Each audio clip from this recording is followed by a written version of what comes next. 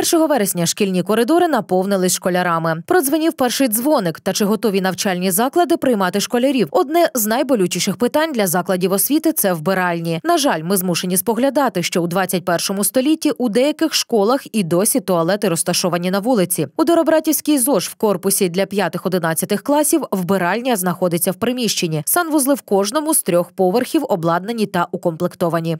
Облаштувати внутрішні вбиральні у приміщеннях будівлі номер 1 школи, де навчаються учні 5-11 класів. Ну і через деякий час після того облаштували аналогічні вбиральні, в які ми зараз, надіюся, пройдемо ще у, у початковій школі. Тобто говорити про ремонт вбиралень ще поки що недоцільно, тому що вони облаштовані. А дрібні поточні ремонти, звичайно, періодично проводяться, і в якому вони стані, ви побачили. Якщо ж в приміщенні для середньої та старшої ланки вбиральні в порядку, то в корпусі початкової школи з туалетами справжня біда. Діти змушені ходити по своїм справам на вулицю. Та директор зазначає, що ці вбиральні утеплені, тому дітям нібито не холодно ходити у своїх справах сюди. 100 учнів навчається у корпусі для перших четвертих класів. Ну і всі вони, звісно, користуються цими внутрішніми вбиральнями або, як ми їх називаємо, теплі туалети. У Павшинській початковій школі туалет також на вулиці. Пані Наталія каже, що діток проводжають до вбиральні. Биральні у нас надвірні. Ну, не можна сказати, що вони зразкові, але вони облаштовані, пристосовані для учнів, для малих діток. Ну, не дуже зручно, але ну що ми можемо зробити? У нас виходить, як виходить. Ми наголошуємо, одягаєш курточку, береш зонтик, одягаєш шапочку, провожаємо, коли слизько. У навчальному закладі в селі Ключарки туалети збудували в січні поточного року. Наразі оновлений санвузол вводять в експлуатацію. Про стан бралень у нашій школі з станом на січень цього року, 2021 року, був зданий в експлуатацію е, внутрішні вбиральні.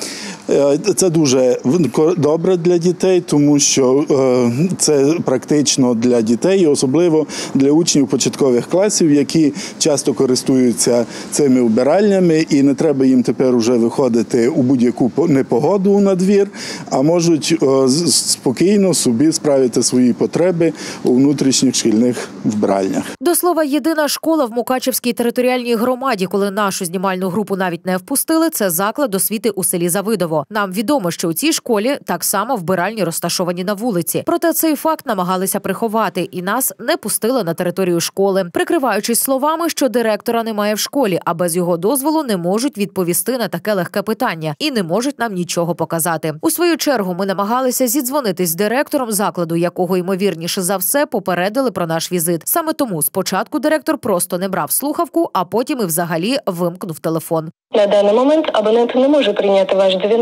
Надішліть смс-повідомлення або зателефонуйте, будь ласка, пізніше.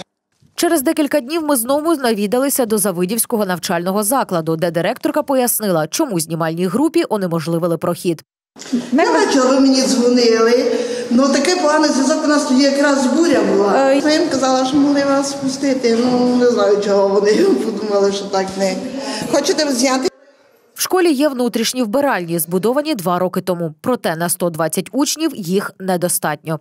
Зараз у нас є е, внутрішні вбиральні. До цього часу нас учні користувалися надвірними е, туалетами. Ем, Як туалет, у нас внутрішні туалети збудовані два роки тому. А вистачає вам одної вбиральні на таку? Звичайно, ні. У нас планується на наступний, я думаю, рік е, теж зробити е, внутрішні туалети на другому поверсі.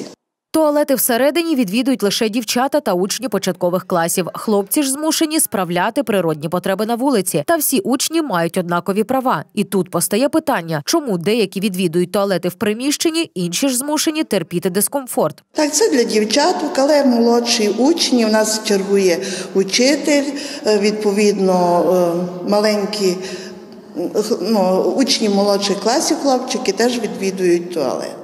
Ну а старші вже більше йдуть на двір. Вбиральні на вулиці в жахливому стані. Будівля розвалюється, а замість керамічних санвузлів просто яма. Це не лише проблема зовнішнього вигляду, а й безпеки, адже учні можуть провалитись в отвір.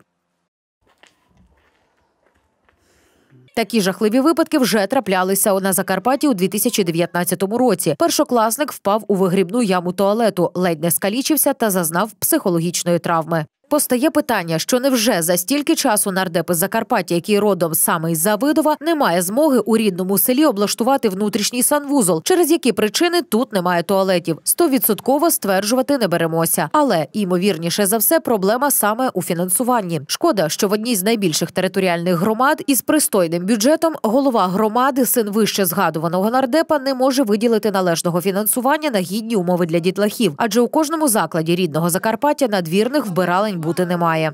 Через відсутність внутрішніх вбиралень страждають не лише школи, а на жаль, і садочки. В селі Гукливе Воловецької територіальної громади вбиральні досі на вулиці. Найменші мешканці змушені в негоду, холод чи дощ виходити на вулицю і йти до старенького туалету. потребує е, капітального ремонту. Це внутрішні приміщення. У нас відсутня вбиральна внутрішня.